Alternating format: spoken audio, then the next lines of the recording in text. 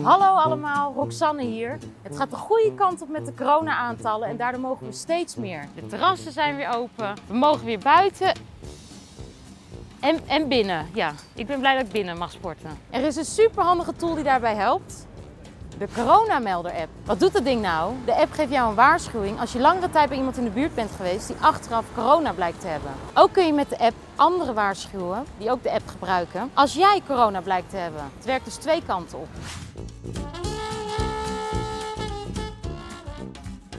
Ik ga vannacht checken of de coronamelder-app bekend is en of die veel gebruikt wordt. Let's go!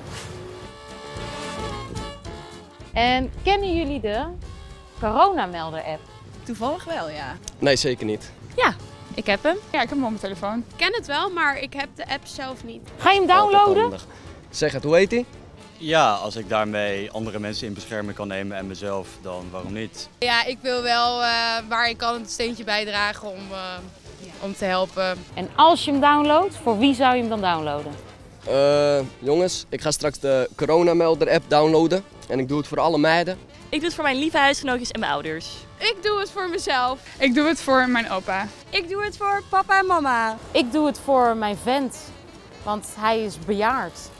Nee, geintje. Ik doe het voor mezelf, want ik heb diabetes type 1 en ik val dus in de risicogroep. Ik doe het voor iedereen, zodat weer van alles mogelijk wordt. En dat we niet alleen in Nederland, maar ook in heel Europa gewoon weer wat bewegingsvrijheid terugkrijgen. En dat we weer gewoon lekker kunnen doen wat we voor de crisis ook deden. Het valt me reuze mee hoeveel mensen eigenlijk de coronamelder-app kennen en hem gebruiken omdat ze het belangrijk vinden om hun vrienden, familie of zichzelf te beschermen en de verspreiding van corona te voorkomen.